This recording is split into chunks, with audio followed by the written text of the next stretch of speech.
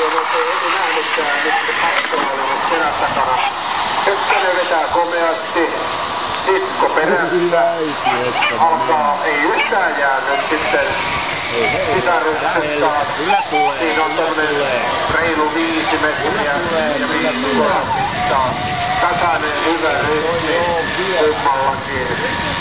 Jaha, nyt sitten kakkonen yrittää kiristää, saavuttaa ehkä hieman, mutta tulee tuossa takapäin.